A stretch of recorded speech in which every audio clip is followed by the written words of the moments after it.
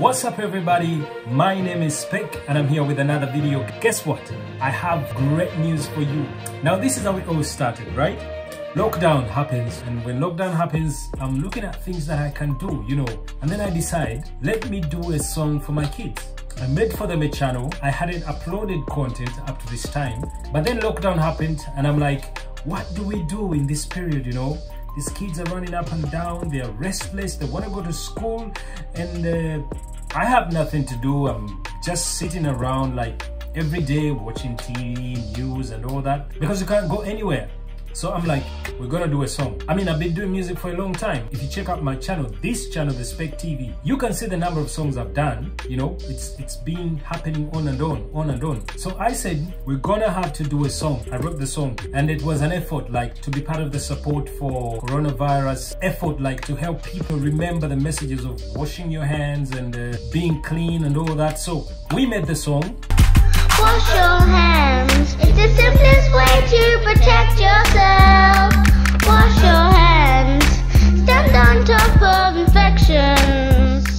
The song comes out very good. We do the audio, we do the video, we put it on YouTube, and then we were like, so what next?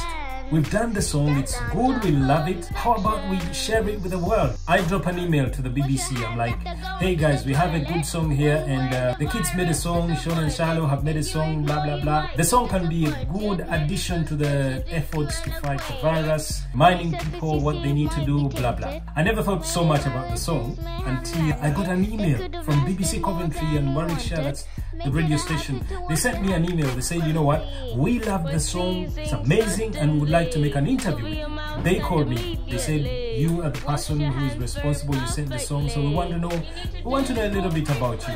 Okay, your boy goes to the phone. I'm like, fine, let's do this. This is how the whole thing went down, right?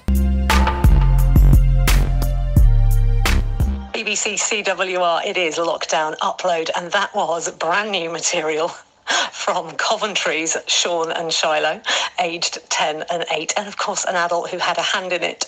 Uh, let's speak to Spek now. Hi, Spek. How are you doing? Hello, how are you doing? I'm doing really well. How are you doing? I am perfect. I'm perfect right now. Uh, Sean and Shiloh have stolen my heart with their incredible enthusiasm and performance skill. Ah. Is this the first time that you've made music with the kids? Yeah, actually, this is the very first song we have done. Well, it's amazing. They're complete naturals, but it's not the first time for you. Tell me a little bit about your music so far, Spek. When I was young, I did music, I did a couple of songs, but when you don't think it's going to be that big, somehow you, you chill out a bit. hmm But then when I got into the life of uh, uh, the mother of my kids, you know, my sense of music kind of came back. And when I looked at these beautiful kids, I look at what they can do, I look at how confident they are. I'm like, hmm, maybe I can pass on something, you know? Was it their idea to put the song together? we did a couple of uh, YouTube videos, and then I used to hear them singing, you know, because their mother can sing. And uh, I could hear them sing, so I knew that their voices can do something. So I just, I just sat down and I said, well, let me write something, and I see if you guys can do it. Probably we can give it to the world as a gift, you know? And that's how we started. Well, they're brilliant. They're brilliant. They're absolute naturals. So thank you so much for sharing that with me. And it is the catchiest song I've ever heard. It's in my, ever since I first heard it, it's in my head the whole time. Are there any plans for another song with Sean and Shiloh and yourself, Spek? Absolutely.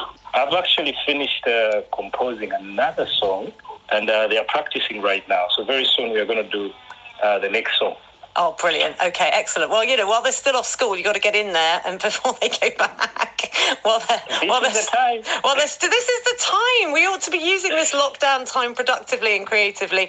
Thank you so much for your Yeah. time, Spek. Thank you for bringing that lovely song into our lives. And I look forward to hearing more from you on Lockdown Upload in the future on BBC CWR. Oh, thank you so much, Rachel.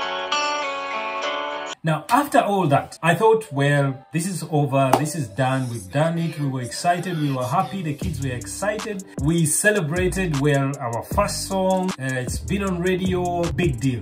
Then the producer drops me an email after that. He said, you know what? There's a project going on. There's a song that has been written. The song is for all the different people that have done something in this uh, period. People in Coventry, the care workers, the support workers, the nurses, the doctors, people that have prayed, people that have uh, brought in money to help others, people that have helped in any way. It's time to celebrate them. They said it's a BBC, it's called BBC Make a Difference. We need to sing over this. We need to do some dances over it because they're going to be included in the final project. Your boy starts to do the vocals. I, I prepare myself, I record, and then I send the clips. I'm like, well, it feels good. That's exactly what I did. If you look right there, that's what I did. I never knew what to expect actually. I just sent it. Then, June 29, they send me another message. And this is how it reads. Listen, thank you so much for contributing to the BBC CWR's lockdown anthem. That is BBC Coventry Warwickshire. We are delighted to let you know that your submission to the upload has been included. I'm writing to let you know that the lockdown anthem, a tribute to Coventry's lockdown story, will premiere on Phil Upton's Breakfast Show on Friday 3rd July. We will release a short teaser on Tuesday 30th June at 8.40 am, but the full version will be available on Friday 3rd July after 8 a.m. on BBC CWR radio. We have included an image in case you'd like to tweet or mention on Facebook to your friends and family watch out for the video. And then they send me, you know, the words, you can use words like blah, blah, blah, blah, blah. The original track, Together We Will Rise, pays tribute to Coventry's heroic effort over the past three months and kicks off the station's virtual festival, Cove Fest, on what would have been the weekend of the city's iconic annual Godiva Festival. Now listen to this, listen, this is very, very important. The track looks back using song and images at the amazing stories of resilience through this strange time and the local people who have made a difference, including me.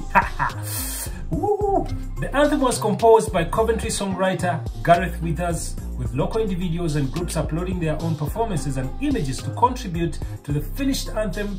Gareth Withers, amazing. I've looked at his profile. I've checked his website. Gareth Withers, legend. He's an amazing gentleman. He's been uh, making music for a long time. He, he's been composing songs for schools, training kids to, to sing. Oh my goodness, he's an amazing, amazing gentleman. Stratford upon Avon's Orchestra of the Swan helped create the beautiful orchestral score by recording their performances to the piece in isolation. Together We Will Rise is a fitting tribute to the city's finest and it's only right, it's only right that they get to be the headline act to launch Cove Fest. This is what the editor said.